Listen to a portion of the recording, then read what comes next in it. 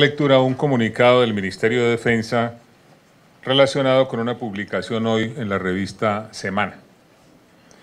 En relación con la publicación sobre presuntas interceptaciones ilegales realizadas por integrantes del Ejército Nacional, el Ministerio de la Defensa se permite informar.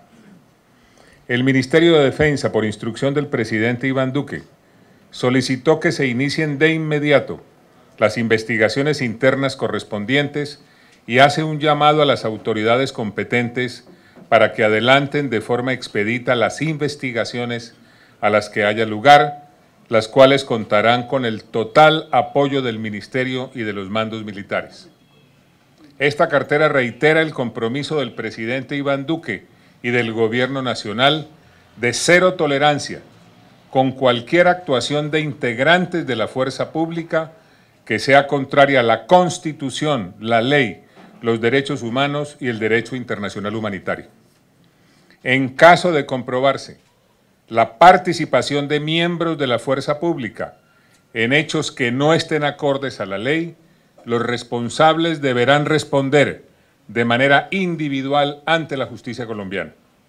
La presunción de inocencia y el debido proceso son derechos fundamentales de quienes han sido cuestionados y son las autoridades correspondientes las que deben realizar las investigaciones, determinar responsabilidades y tomar las decisiones en derecho.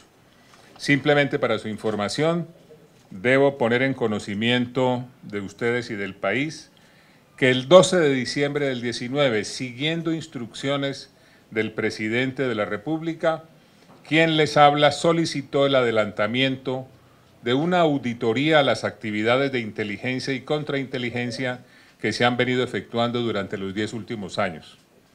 Esa solicitud de auditoría se hizo con el fin de verificar y evaluar el cumplimiento de la Constitución, la ley, los planes, programas, proyectos, objetivos, procesos y procedimientos en todos los niveles de la organización en las actividades de inteligencia y contrainteligencia.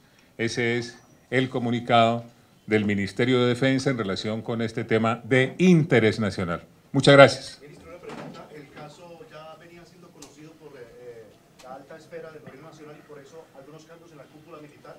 No, se había solicitado una auditoría y naturalmente vamos a mm, mirar todo el, la respuesta que exista sobre esta auditoría que se había solicitado, pero aquí lo fundamental es señalar lo siguiente, la política es cero tolerancia, cero tolerancia y por eso se están solicitando las investigaciones de manera inmediata, para lo cual contarán las autoridades con todo el apoyo del Ministerio de Defensa y de los altos mandos militares. Muchas gracias.